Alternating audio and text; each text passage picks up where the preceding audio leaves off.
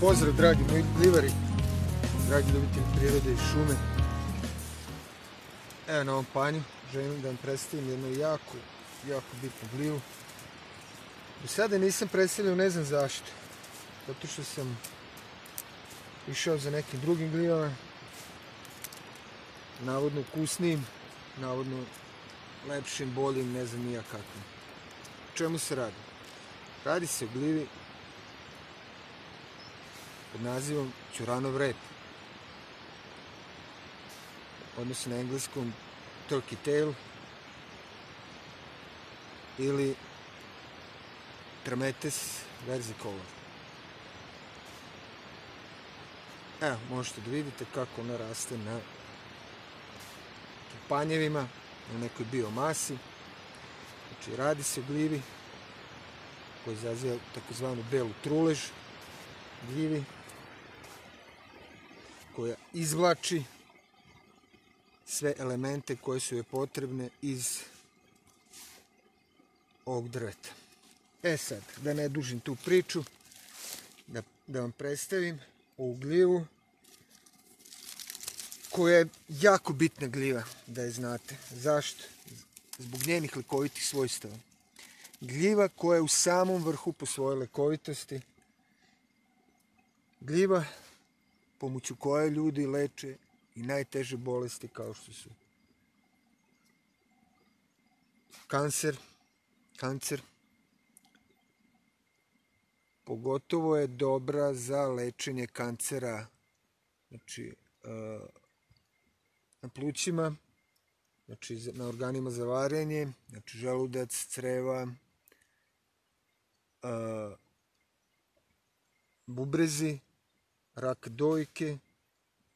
Znači, gljiva koja sadrži neki takozvani beta gluten koji jako dobro deluje na naš imunni sistem da se bori protiv tih opake bolesti. E sad, napokon da krenem da vam predstavimo ovu gljivu. Znači, Trametes versicolor. Znači, više bojna je, kao što i sam naziv kaže, znači može da bude različitih nijansi, od crne, brown, znači smeđastih, žućkastih nijansi. Evo ovde sam našao sput jednu žućkastu nijansu i imamo tamnije nijanse, kao što možete da vidite ovde.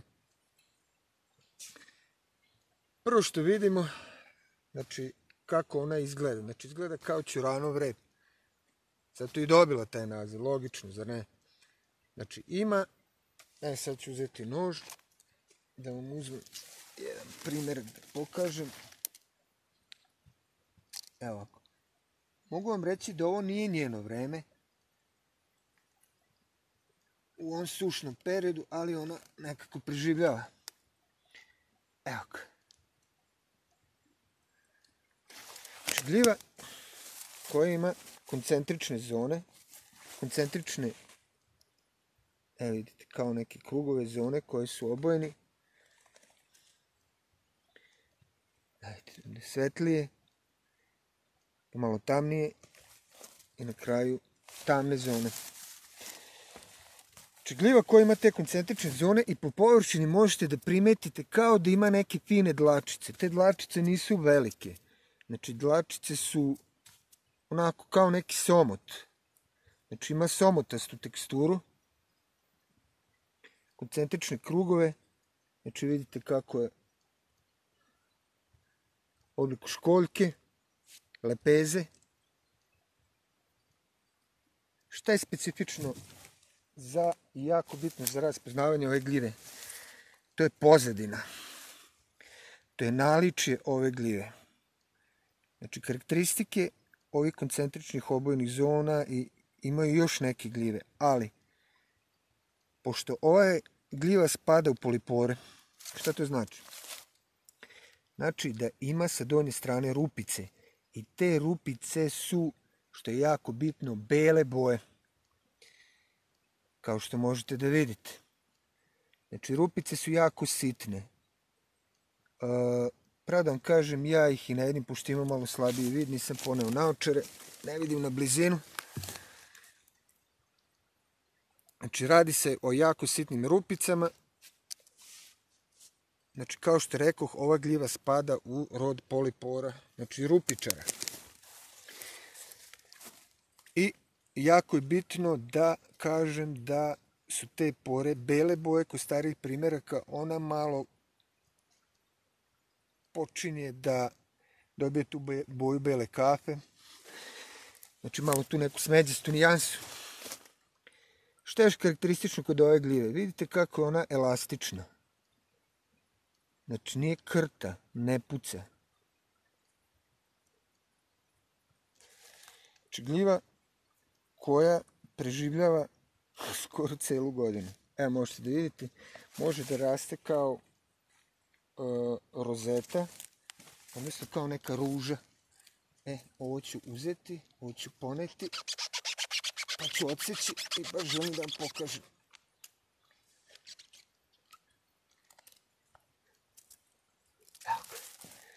To je ta rozeta. Znači, deluje kao ruža, kao neki cvet. Znači, raste ovako grupno. Može ovako u nivoima, jedan iznad drugog. Vidite te koncentrične zone sa svetlim i tamnim nijansama. Znači vidite taj somut, tu somutasnu teksturu po vlažnom vremenu i kada je njeno vreme, izraženije su te karakteristike. Vidite, donji deo gljive, znači to su rupice koje su bele boje, znači gljiva je od dole bela.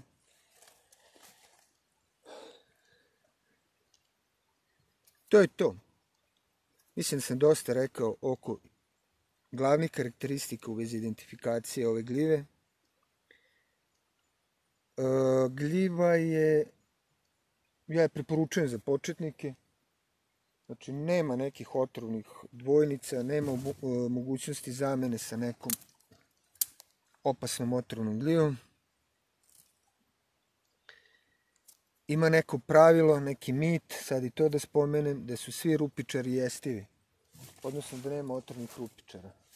Donekle to pravilo i tačno.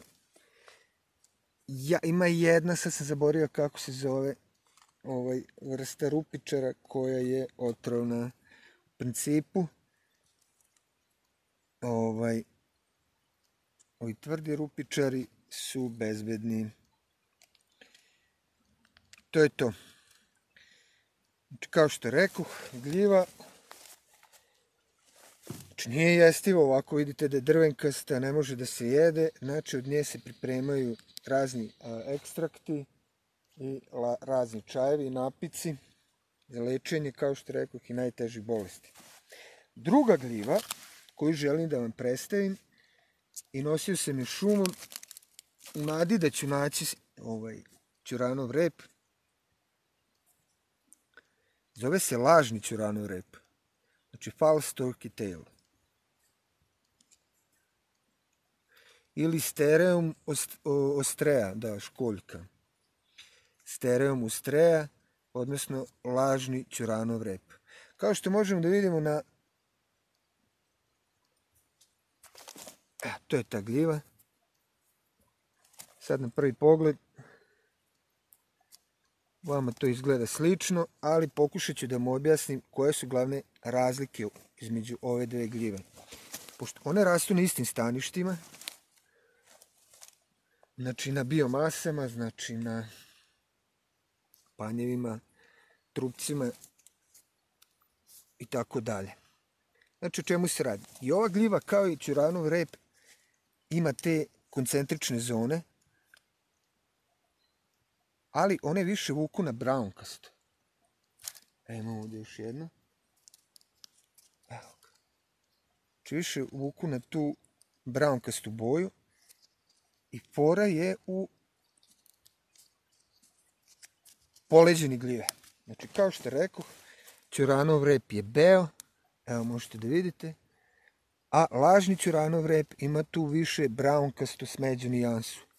I nema rupice, nema te pore kao što ima Termetes versicolor, odnosno Ćuranov rep. Znači ovo je potpuno drugi rod stereuma, a ovo su trametesi. Znači šta sam hteo da kažem? Znači ova površina je slična gornjoj površini, čak nije ni somotasta kao kod Ćuranovog repa. Znači nema tu somotastu nijansu, nema rupice, glatko je, ravno. I ne znam da li možete tu da primetite, Ćuranov rep je dosta elastičan i nije tako tanak kao ova gljiva. Znači, ova gljiva je malo padala kiša pa je ovlažila, međutim ona je dosta i krta, zna i da puca i vidite kao neki papir je. Znači, to je važna razlika da se zna između stereum ustreja, ustreje i Termetesa versicolora. Ovo je masivna gljiva, dosta često ćete je sretati u šumi. Ja to zovem pločice. Možda ste i videli u nekim od mojih videa, znači pošto ne deluju kao neke pločice. Znači, pločice i ovo je pravi ćuranov rep. Nadam se da smo više rešili tu dilemu, pošto sam gledao razne likove po YouTube-ovima, po videima, ovaj, njima je sve oćurano rep. Poštujem njihovu ljubav prema prirodi, prema preživljavanju, ali tu sam eto da kažem, ne da se pravim nešto pretredno pametan, nego da ljudima koje to interesuje pokažem glavne razlike između pravog ćuranog repa i lažnog ćuranog repa. To je to, dragi moji gljivari. Ne bih se više gnjavio. Za, da, za sad toliko. Ako imate neka pitanja, pišite dole u komentarima. Hvala vam na podršci. U zadnje vreme sam primetio dosta pratilaca koji me zapraćuju. Hvala vam, još malo pa će naš kanal narasti i na hiljadu pratilaca. Tu smo negde sada oko 900. Hvala vam puno, hvala dragi moji prijatelji, dragi ljubitelji šume. Veliki pozdrav i svako dobro. Živeli!